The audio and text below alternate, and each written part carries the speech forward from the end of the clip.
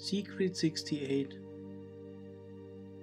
Being within a body in the world necessitates a certain level of ignorance. Accept this. Do not strive for total awareness, or you will neglect what can actually be done here.